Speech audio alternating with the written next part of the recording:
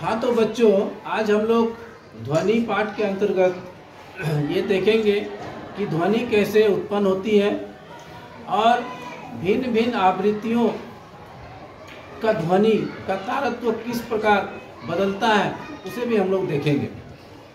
तो जैसा कि आप लोग जानते होंगे, जब भी हम किसी वस्तु में आघात पहुंचाते हैं या घर्षण करते हैं या फूकते हैं या उसे हिलाते हैं।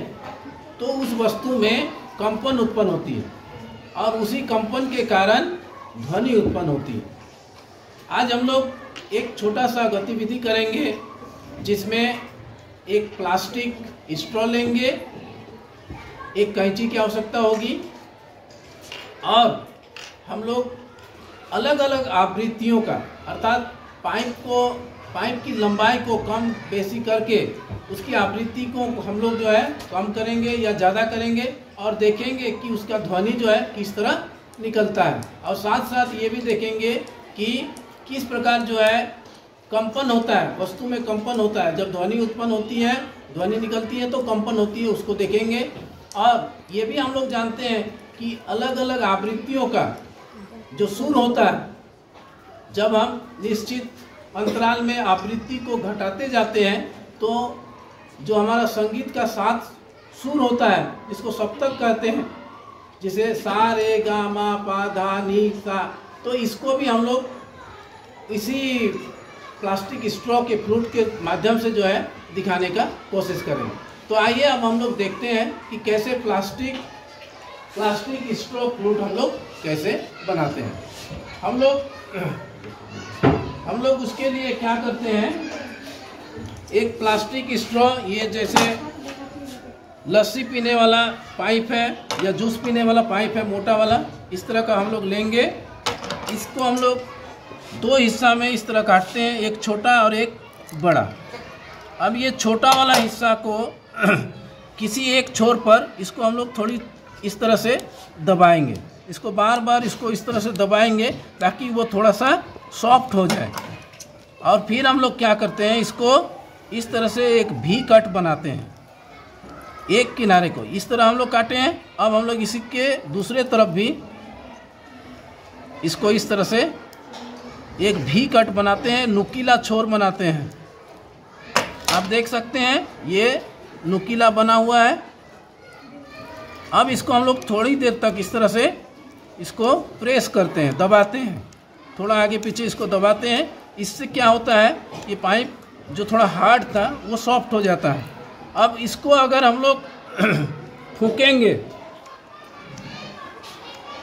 इस चोर को अंदर रख करके फूकेंगे तो आप देखिएगा, आवाज़ या ध्वनि उत्पन्न होगा।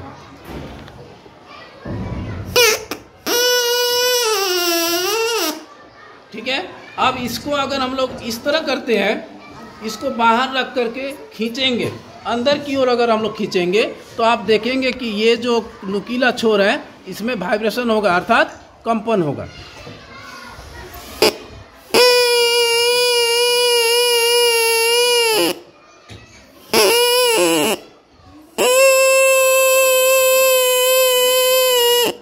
तो ये ये पाइप, छोटा पाइप था, जिसमें हम लोग जानते हैं कि पाइप की लंबाई छोटी होने पर आवृत्ति अधिक होती है।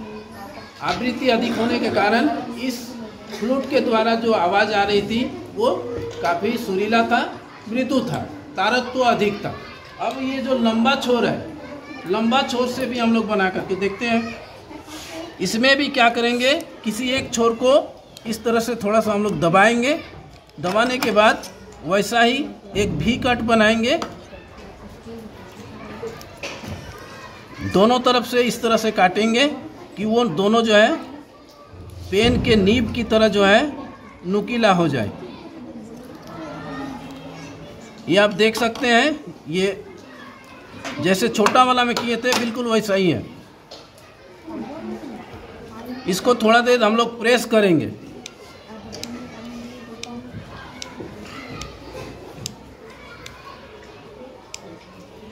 अब देखिएगा, इसमें आवाज़ कैसा आता है। ये दोनों पाइप था, ये देखिए छोटा है, ये बड़ा है। ये लंबाई ज़्यादा होने के कारण इसमें आवृत्ति जो है कम होगा, ठीक है? कंपनों की संख्या जो है इसमें बहुत कम होगी। तो इसमें हम लोग देखेंगे कि इसका आवाज़ कैसे आता। है देखिए, बहुत मोटा आवाज़ आ रहा। है इधर से भी करेंगे हम लोग, अगर हवा को खींचेंगे तो ये वायु के रास्ते में आने वाले ये पतले जो छोर है, ये जो है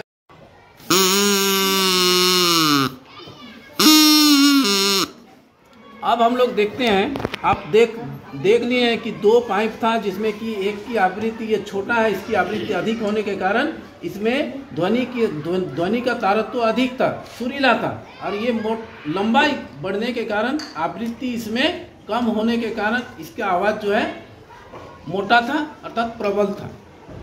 अब कोशिश करते हैं इसको हम लोग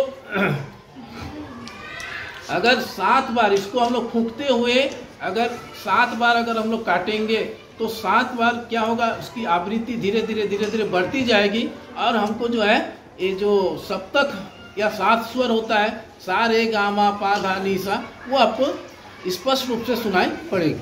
चलिए कोशिश करते हैं, देखते हैं।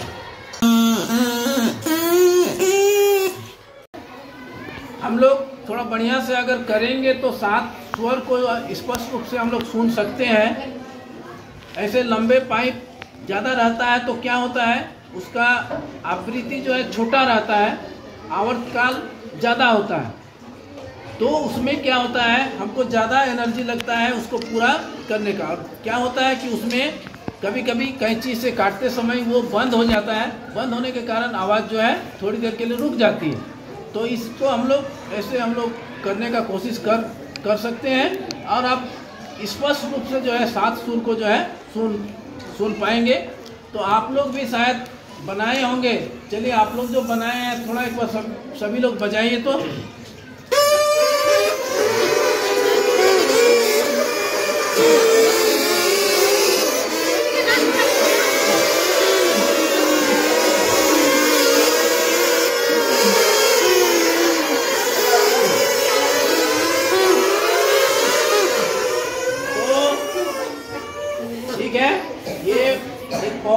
अच्छा जो है गतिविधि है जिसमें हम लोग ये देख पाए कि कि जो है ध्वनि उत्पन्न हो, होने के लिए कंपन ज़रूरी है और ये कंपन को भी जो है अच्छी तरह से दिखाता है। और साथ में हम लोग एक स्ट्रॉ को छोटा बड़ा करके जो है उसकी आवृत्ति को कम कर सकते हैं और उसकी ध्वनि को हम लोग सुन सकते हैं कि किस तरह जो है आवृत्ति के कम होने से या अधिक होने से उसकी आवाज़ में क्या अंतर आती है? धन्यवाद।